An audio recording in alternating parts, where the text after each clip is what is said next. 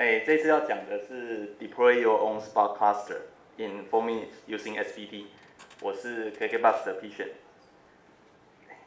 OK，那这个 talk 呢，我们主要目的是想要来分享我们在 KKBox 做的这个 tool，叫做 Spark Deployer。它是一个 SBT 的 plugin。呃，如果有人不知道 SBT 是什么，SBT 是呃 Scala 官方的 project build tool，它有点类似 Java 的 Maven，那可以帮你处理 project 的 library dependencies 的问题。那目前大部分正式的 Spark project 都是用 SBT 来 build 的。OK，然后呢，我们这个 tool 目前已经正式在 KKBox 使用，我们每天都有呃很多的 MapReduce 的 job 是用它来启动的，然后它也是百分之百的 Scala code。那到这个地方呢，建议各位就可以直接拿起你的手机或者笔电，直接去搜寻这个 GitHub 上面的 project，然后可以的话，帮我们在右上角的星星按一下，好，感谢各位。好，然后我们这个 tool 呢，想做的是很单纯，就是把 Spark 丢到 Amazon Web Service 的机器上面跑。那 Spark 呢是类似 Hadoop，但是速度快非常多的 Big Data 运算系统。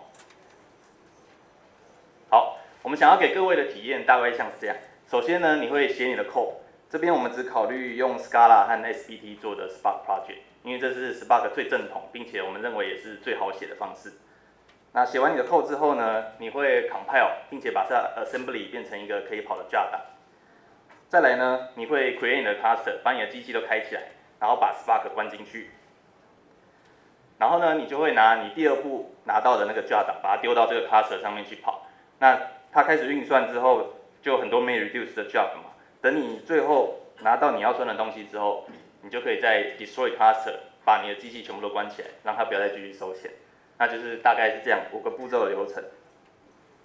OK，那我们来看一下目前有哪些 solution 可以帮帮大家做到这这五个步骤流程呢？我们这边就提出三个，一个是 Spark 他们官方提供的 Python script，叫做 Spark EC2。然后第二个呢是 Amazon 的 Elastic MapReduce 的服务，简称 ENR。第三个呢就是我们自己写的 Spark Deployer。我们再来会比较一下这三个 solution 使用上的差异，并借此说明为什么我们会想要自己 build Spark Deployer 这个工具。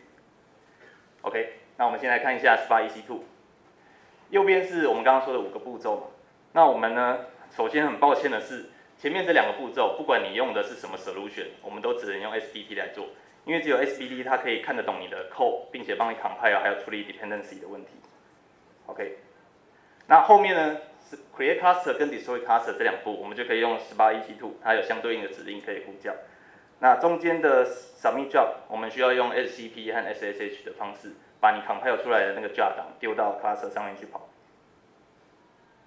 好那这几个步骤呢，它都有相对应的指令嘛，我们就可以看看说，我们把这些指令如果全部串在一起，它大概会长什么样子？哦，这边给各位看，大概会像是这样，可以看到有相对应的 S B P、SPARC2、SCP 和 SSH 的指令。那这边呢，各位都不用看懂，我们想要强调只是这个指令很长，所以呢，你应该不会想要每次执行的时候都自己打这一大堆的东西。也就是说，我们可能会需要一个像 Makefile 这样的机制。来把这些指令全部整理在一起，让你可以每次呼叫的时候会比较简单一点。好，那 Spark EC2 使用上的架构大概是像是这样。我们可以从这边就看出一些我们觉得不太好的地方，例如除了 SBT 之外，我们要多装一个东西叫做 Spark EC2，并且还要随着它的版本更新。再来呢，就是我们需要自己设计跟每天那个 Makefile，这个 Makefile 你需要随着你的 project 要带来带去的。而且它可能不是那么好写，因为你需要做一些变数的处理啊，或者是去 handle Spark EC2 回传的指令的结果等等的。OK。然后呢，Spark EC2 还有一个问题是它的启动速度比较慢，我们实际测试的话大概需要二十分钟左右才可以把我们的 cluster 开好。那但是 EC2 是一个小时算一次钱，所以我们就一半的钱直接花在只是开机器而已。好那我们就来看一下，前面有这些缺点的话，那 Amazon 的 ENR 会不会就表现的比较好一点呢？一样，我们来看右边的这五个步骤。那一样很抱歉的是，前面这两步我们还是只能用 SBT 来做。但是 ENR 有一个好处是，后面的这三个步骤它都有相对应的指令可以来帮你完成。好，那我们就来再比较一下 ENR 的指令，如果我们把它全部串在一起，会不会比较短呢？好很抱歉，没有比较短，而且你会发现最后一个指令我还没有办法全部写进去。但是有一个好处是，各位可以看到，除了第一个是 SBT 之外，后面全部都变成 ENR 的指令，它会比较统一一点。所以呢，因为这个指令还是太长了，所以我们还是会用一个 Makefile 来把它包起来。好，那 ENR 的架构大概是像是这样子。我们还是可以看到一些我们觉得不太满意的地方，例如说，除了 SBT 之外，我们现在也还是要多装另外一个东西，只是它变成是 ENR 了。那我们一样要设计跟 maintain 那个 Makefile。再来呢，就是 ENR 它上面的呃 Spark 版本其实是比较旧的，目前应该是一点三点一版，但是实际上 Spark 已经到一点五点二版了，而且一点六点零也快要出了。再来呢，就是 ENR 它的使用上的限制会比较多一点，它会规定你只能开某些类型的机器。现在如果我想说我要开一个 cluster，然后上面每台机器一开好就有灌好的，例如说某字 Python 的程式的话，ENR 就比较难做到。OK，那综合上面种种我们觉得不方便的地方，我们就提出一个 idea。既然 SPT 它自己就是一个很强的 build tool，那我们为什么不让它 handle 所有的 dirty work 就好了呢？所以我们就设计出了 Spark Deployer，它的架构呢就会像是这样。我们一样是这五步骤，但是呢，只要一个 SPT，我们就可以做好所有的事情。你不用多装任何其他的东西。前面的两步一定要 SPT 嘛，但是后面的全部步骤我们也都帮你做完。OK，那我们可以再来看一下 Spark Deploy 的指令，它全部加起来大概是什么样子？刚刚各位记得前面两个 solution 都是满满的一整页，但是在我们这边呢，只要这样，就简单的三个指令。第一个是 Spark Create Cluster，那后面的二代表我要两个 Worker Machine，那中间呢 Spark Submit Job，Spark Destroy Cluster，我相信不用特别解释，大家就知道我们是要干什么。OK，很简洁。那我们就可以列出一些 Spark Deploy 的优点啊。例如说，跟前面相反的是，我们只要装 SPT 就好，你不用装任何其他的 tool 就可以使用 Spark。然后呢，我们也不用让你自己去设计那个 Makefile，呃，所有的逻辑我们在 Plugin 里面都会帮你处理好，你只需要给一些基本的变数设定就可以了。然后就是使用上很很简易，各位可以看到前面那三个指令，你只要会那三个，你就可以跑 Spark 的程式了，不用去。担心说，呃，我 Spark 要怎么设定，机器要怎么开啊，或者是有什么东西要调，那些我们都帮你处理好。那可以让工程师更加专注在他真正要写的 MariaDuce 的 code 上面。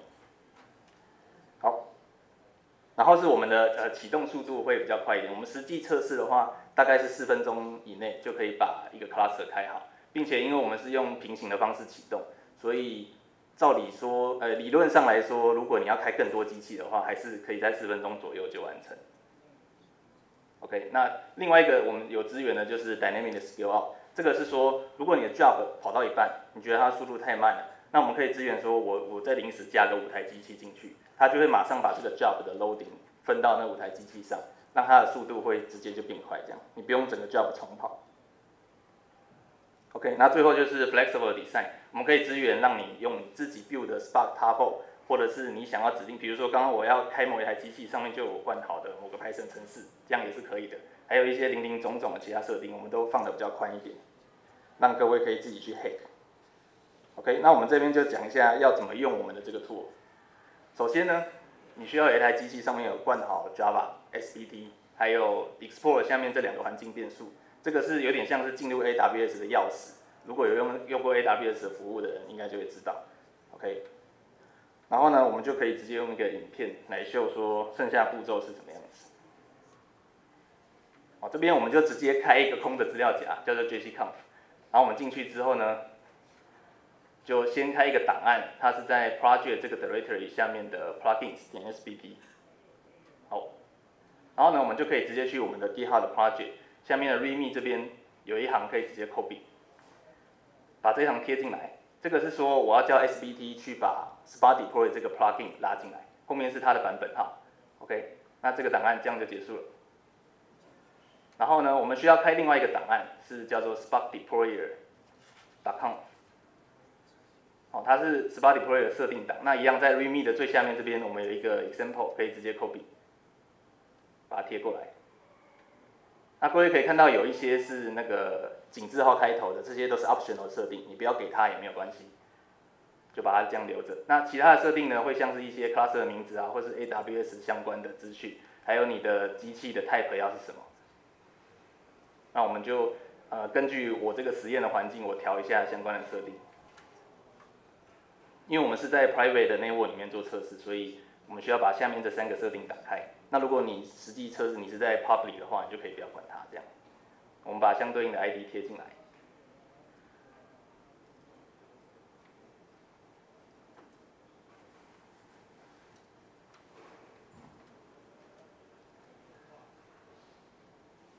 OK，这样就这样就 OK 了，这个档案结束。那我们现在这个 project 里面就有 Spark Deployer 的 plugin 了。再来呢，我们就当场写一个 Spark 的小程式来测试一下。一样，我们上面 Rime 上面这边都有范例的 code 可以直接 copy，这部分你就完全不用改，都照贴就好了。它是一个呃 Spark 的呃官方的 example，它会用蒙地卡罗的方式去计算拍的值大概是多少这样。哦，我们就一样写了上面的 build 点 SBT，然后把另外一个 main 点 Scala 的档案也贴过来。OK，一样在这边就可以 copy，贴过来，啊，什么都不用改，就存档就好。好，这时候我们就可以直接打 SBT，它就会开始去扫你这个整个资料夹里面的 project 设定，然后把相关的 plugin 跟 library 全部都拉进来装好。啊，装好之后呢，它会进入一个 SBT 自己的 console。哦，在这边，那在这个时候呢，各位就可以直接打 Spark，然后按一下 Tab，它就会秀出所有 Spark Deployer 有资源的指令。那这个时候呢，我们可以看到有一个指令叫做 Spark Create Cluster，就是刚刚说的那个。好，我就直接执行，它就会开始先启动 Master，然后再启动所有的 Worker。我们可以看到它在开 Master 这台机器了。那这边因为要等一分钟左右，我就把时间跳过。它成功进去机器里面之后呢，就会把 Spark 的 Table 直接抓下来，然后把它设定通通调整好之后启动。OK，这边就开好了，然后再来它会把所有的 Worker 一起打开。这边因为是平行执行的关系，你可以看到一二一二两台 Worker 是交错在印指令。那一样，我们跳过等待的时间。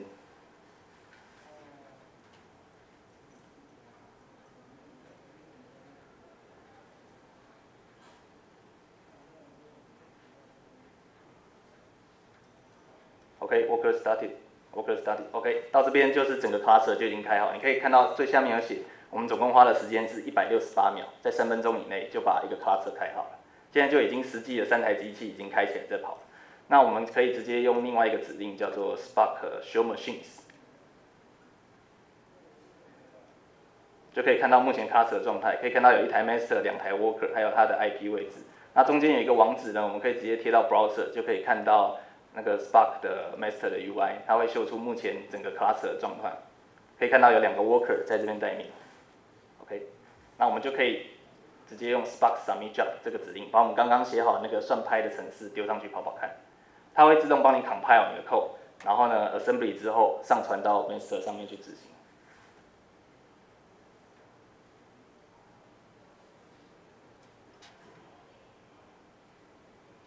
OK，这个时候就开始跑了。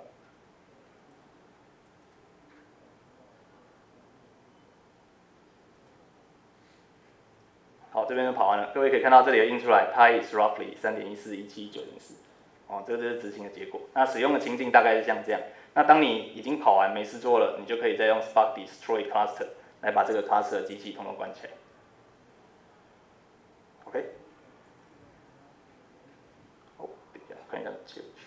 好，那 demo 大概是这样。最后就是。还是一样，就是欢迎各位来我们的 GitHub Project 啊，看你还是要 report issue，就 in 我们的 Git channel，或者是 send 一些 pull request，我们都很欢迎。好，那大概是这样，看各位有没有什么问题。这边问一下好了，就是有用过 Spark 的，可以举手吗，就是大概多少？OK，好像不到一半。那有人用过 SBT 的呢？也差不多，好像是有用到 Spark 就会用 SBT。那个，请问一下，嗯，就是那个你自动 deploy 的是 standalone 的还是可以 deploy？呃，我们用的是 standalone 版本，对。所以那可以根据设定档去 dependency 要吗？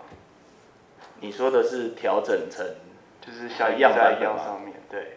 呃，目前没有，但是哦，我们有一个 branch 在 GitHub 上面是有提供的，但是因为那个部分我们还有一些 bug 在处理，所以。而且我们主要用的是 standalone 版本，所以没有推到 master 上。不过如果有兴趣的话，可以来试试看，就是对啊，最后如果够稳定的话，可能就可以加入这个设定这样，对不对？好，谢谢。嗯。或者我想请问一下，那个整个那个流程里面有包含测试资料怎么把它丢上去这个部分吗？哦，测试资料的话，目前是因为我们我们的使用情境都是把所有的 input data 放在 S 三上面，我们就把 S 三当成 HDFS 在用，所以应该会用另外的方式去把它上传到 S 三，对，然后在那个你的扣里面就直接指定说我要从 S 三的那个位置去读取这样，嗯，最后应该会考虑就是可能可以用一个就 local mode 啊，就是让你可以你甚至不用开机器，你就可以在你自己的笔电测试，对，future work。嗯，我想请问一下，因为刚才说那个用就是呃原来的 Spark EC2，它在开机的时候会花很多时间。嗯。那然后因为透过嗯您这样开发的那个 Deploy，它那个它的开那个 Class 的时间会减少。我想知道，有点好奇说为什么这两边的差异是在哪里？谢谢，可以请你分享一下吗？呃，有一个原因是 Spark EC2 他们开的版本装的东西比较多，对他们会。他们除了用他们自己的 AMI 之外，他们要装，比如说 HDFS 啊，或者是要装 Ganglia 那些东西。但是实际上你就会发现，它的 Ganglia 从某一版之后，你就永远开不起来，虽然它装了。然后它的 HDFS 很小，你如果真的要用，你根本不能用。所以就是多浪费很多时间在做那些事，我们就把它通通都拿掉，只装最基本的版本这样。嗯，我们。就最后，呃，我们再用一次那个热烈的掌声，再谢谢我们的 Fisher 蔡为我们的分享。